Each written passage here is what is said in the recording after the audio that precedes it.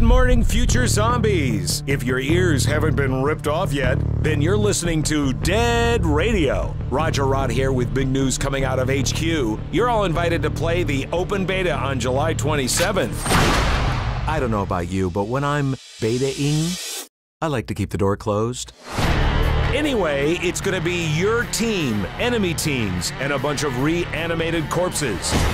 So be sure to equip those Z mods. These nifty tools turn Zeds into temporary allies and will be your key to success on the battlefield. In Team Deathmatch, I recommend using the Distractor. Guess what?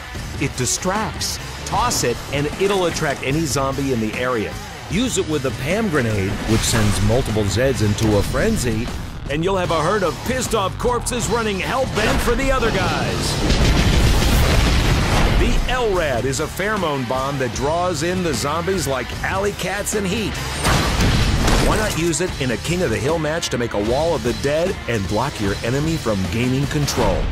Whip out the Templar, a sonic device that sends zombies scurrying away like the cockroaches they are. They also defrenzy any Zeds that have been pammed by the enemy. In attrition mode, it's a total you get four bases, they get four bases. There's a crap ton of zombies in between, so use those zombies to blow the other guy's bases to hell situation. Classic.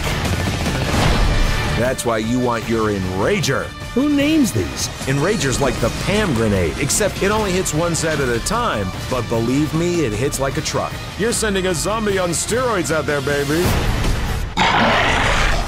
Anyway, there are plenty more Z mods and modes, but that's all the time I've got. So don't forget, you, me, Beta, July 27th. It's gonna be one hell of a party. Actually, it's pretty much just gonna be hell.